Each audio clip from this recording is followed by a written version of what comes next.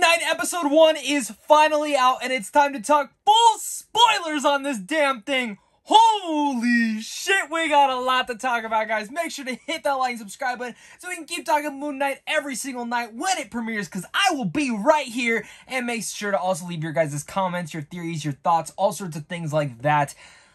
God, this was amazing. Um, I have been so excited for Moon Knight. As a little bit of a background story for me, Moon Knight is one of the characters that I grew up reading, and I just fell in love with him. Like, I know a lot of people used to say that he was kind of like, they made him because of Batman. But he had his own little tweaks to him, of course, with the multiple different personalities. And of course, even before, it was just multiple different identities. And nowadays, it's multiple personality disorder. And they're very much taking and picking from, of course, the older Moon Knight comics to the more modern day adaptations of it. And this first episode was everything I could want and more to suck me into this. That is something that I was really much looking forward to is everything that this show contains. Not just the direction and the story, but also really much the care taken into here. It really much feels like they're adapting Steven and Mark so well, as well as the multiple personality issue that he is having and the torture and terror inside the modern adaptation of this to live action. And for me, in this first episode, there's so much to really much rave about. The horror tones to it, the thrilling psychological nature. They were describing the show as Fight Club meets Indiana Jones, and that's very much kind of what it's feeling like. You know, just from the beginning, you know, you see Oscar Isaac come out. He wakes up and he has this thing around his leg. He has this brace. He has sand all around him and he has this tape. And he you know from there he kind of just like as us as moon knight fans know okay he's trying to make sure that he's not leaving that he's not switching his personalities that he's not maybe night walking daydreaming whatever it may be. But then he you know he goes to his job we start to learn a little bit more about his life and how his style is. Maybe this girl likes him. And but he's kind of a weirdo. Like he's just like there's something off about him. And the thing that I love about it is first the makeup department, the way that they make him look tired was quite fascinating because as says no is that he's not sleeping. When he goes to sleep, pretty much his body moves over to Mark. And I think that's a really interesting way, is just the little touches to detail they have in here. And for me, one of the things that I love about this episode is, of course, when he goes back, he's kind of talking to himself about, like, I can't, like, you know, it's kind of a big red flag, especially when he's talking to the statue or the person as a statue.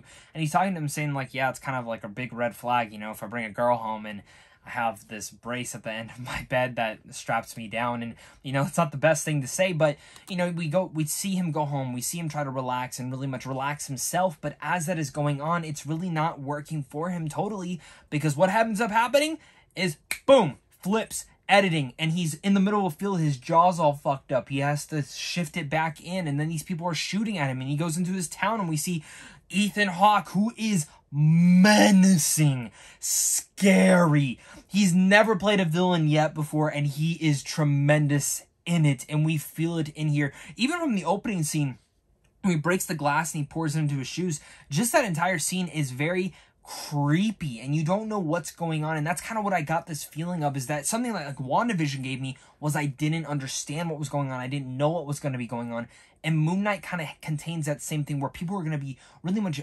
bickering and talking with one another. Was like, was that real? Was that all in his head? Was that not?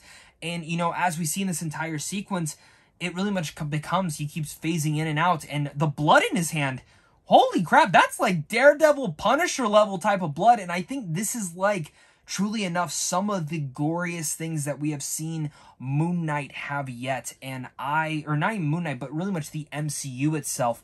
And speaking of the MCU, this does not feel like it is in the MCU. There's some quirks here and there with the humor, but it really much does resolve back to the earlier Moon Knight comics that did have those quirks of, of course, the character and kind of some of the humor within there. But very much far and few between. This very much is more on the modern adaptations and is in more in the vein of what Charlie Cox's Daredevil and Jon Bernthal's The Punisher and just kind of the tone of those was very much in this. Now I don't know if that'll shift and change throughout episodes 2, 3 and 4, but I I loved the rest of this and of course then him waking up and he's like, "Oh, I'm alive." And he ends up going on the date and finding out all that and just finding little differences and ended up finding out that he has been gone for 2 days, which then I thought he was going to lose his job, but apparently he didn't then, of course, we see he finds the phone, doesn't really know who he's talking to. He's very much freaking out. And then Ethan Hawke shows up on the bus. he's like, holy shit, what's going on?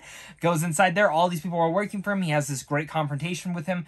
And it led up to him doing inventory.